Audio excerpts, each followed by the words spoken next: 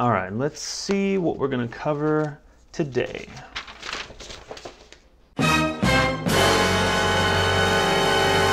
Oh my god. I love this game. Let's create the Resident Evil 4 health bar using widget blueprints. Widgets are basically a canvas for you to place whatever graphics you want directly on screen. You can also attach them to characters so it follows them around, but let's not get ahead of ourselves. In the last video, we were able to print string our name onto the screen, basically from scratch. But that's just the tip of the iceberg because today we're going to dive deep and learn all about Unreal Motion graphics. So we're going to open up the same project as before and let's get things started by creating a widget. Let's right click on the content browser, go to user interface, click on widget blueprint. We're just going to give it a basic name like basic UI and you'll notice this star here on the basic UI. That means it hasn't been saved to the project. So if we close out the editor and open it back up, it won't be here. Let's just save all, go to file and save all. That way the star goes away and if it crashes or something like that, it'll still be here. Go ahead and double click to open that bad boy up. So widget blueprints are split into two sections. You've got the designer tab on the left here, and this is where you handle all of the visual aspects of how the widget's going to be displayed on screen. And here on the right, we have the same event graph from normal blueprints. This is once again just where you show the engine what to do with the blueprint during gameplay. But let's not forget our goal for today, the Resident Evil 4 health bar. It's basically an underlying graphic, a health bar, and a name off to the right, so it shouldn't be too hard. Let's go back to the designer tab, and here under hierarchy is probably the first thing that you should know. The topmost item on the hierarchy is actually going to be behind the lower items on the hierarchy. They kind of stack on top of each other. So the top one in the hierarchy is behind the ones on the bottom and it's a little confusing, but don't worry, you can reorder the hierarchy at any time. But let's start off right and let's start off with the component that's going to be behind the rest, and that's going to be our underlying graphic or an image. Up here in the palette, we can go ahead and just search for an image, go ahead and drop that right onto the canvas panel, and you'll see it appear on the top left of your widget. I'll include the image that I'm using in the description box below in case you want to make exactly what I make. So we haven't set the image to what we want to use in the brush, and by default it just wants to render a white rectangle. A brush is just a fancy way of saying image that's going to be drawn. All of these options here are specified in the brush. And actually we haven't imported our image into the engine yet, so let's go ahead and minimize the widget, and we'll go ahead and import the image that we're going to use for the graphic.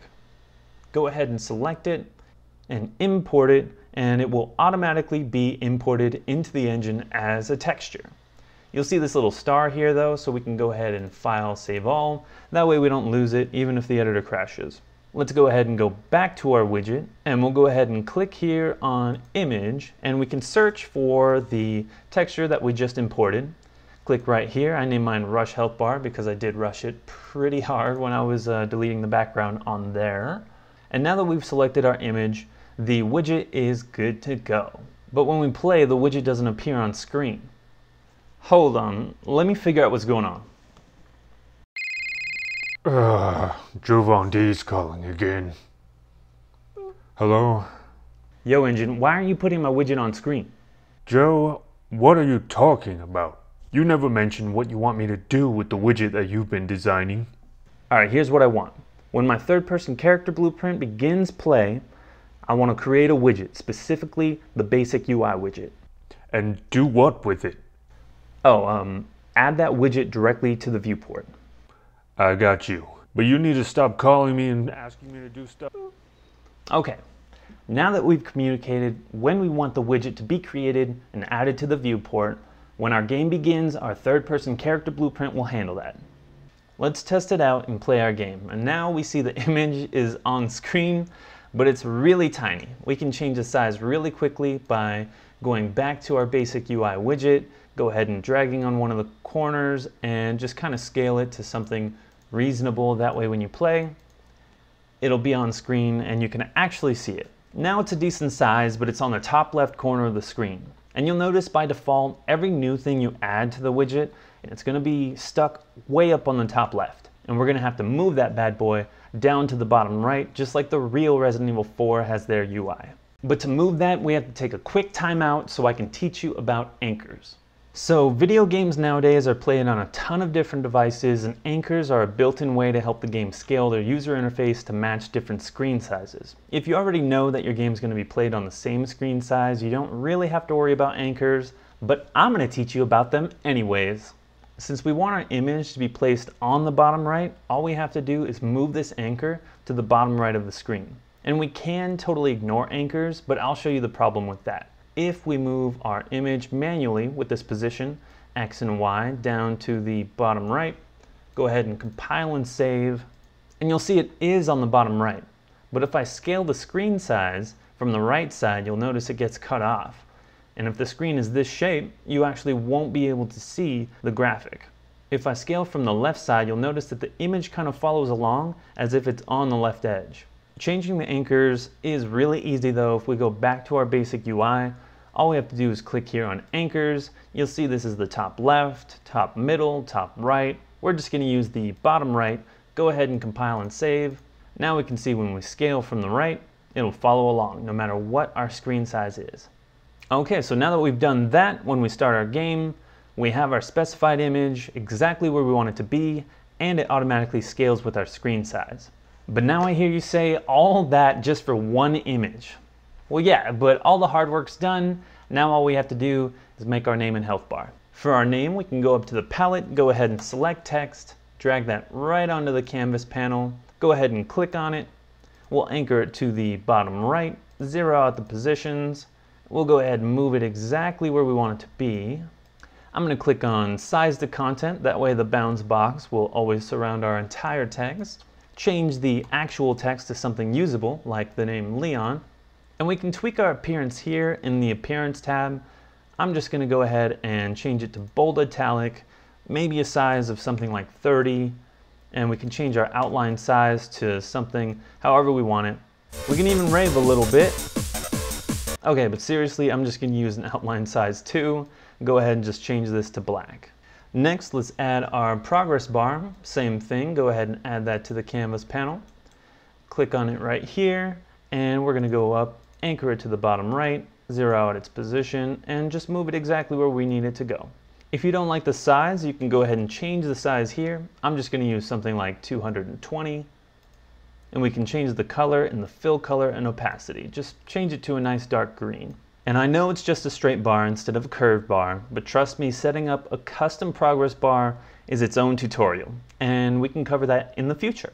So now we have our basic foundation set for our UI. And when we play, we do have our name and progress bar on the bottom right, but it's not showing our player's name or our player's health. It's just showing the exact way we designed it in the widget. But not to worry, it's really easy to link up our player character's name and health to the widget. There's actually two ways that come to mind immediately. And since this video is already getting pretty long, I'm gonna teach you the wrong way. Yay! Well, not really the wrong way, but the fast way. Let's go to the event graph for the widget, and we need to set up a variable for our player character so that we can get information from them. So the question becomes, how do we get our player character from the widget? Well, luckily there's a pure function called getPlayerCharacter that we can go ahead and use on the event graph and we are going to cast that to our third person character. And we're going to do that when the widget is constructed. And after all that we'll go ahead and promote this to a variable. Let's name that something like player. And now this here will be our player reference. Okay rewind that was a lot. What did we just do? So basically this is what we just told the engine. When this widget is created if you remember, that's when our third person character blueprint begins play. We're going to get the player character. And the player character is whichever character is being played and controlled by the player right now. We're going to check to see if the player character is a third person character blueprint. And if our player character is a third person character blueprint, we're going to set our widget's player variable to our player character.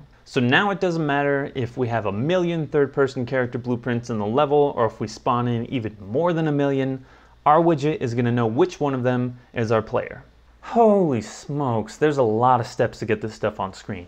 But luckily we only have to do one more thing for our name and health. Let's go back to the designer tab so we can bind our name and health to our player variables name and health. We'll click on our text here and under the content tab next to text, all we have to do is click on bind. We'll select player and we'll go ahead and bind our name to our player variable's name. And now our widget's name is going to be set to our player character's name. And you can see right off the bat, it's going to automatically update here when you play the game. And we'll do the same for the progress bar. Go ahead and click on that and under percent, we're actually going to bind that to our player's health. Compile and save. And now you'll see the progress bar is completely filled up since when we created our player's health, we set the value to 1, which is equal to 100% health. So in real time, if our health changes or if our name changes, as of now, the progress bar and the name will update in real time while you're playing. Wow, that was a lot to go over. But in the end, we matched the classic Resident Evil 4 user interface. Mostly. you can always tweak the appearance later on to more closely match the original if you want there in the widget, uh, but that's going to bring this video to a close. Thank you so much for watching the whole thing. I know this one had a ton of new things in it for beginners, so hopefully you learned something. And There's tons of free ways to help this channel like liking, commenting, and subscribing. I'm here to help you think like a game developer, so stick around for more videos like this.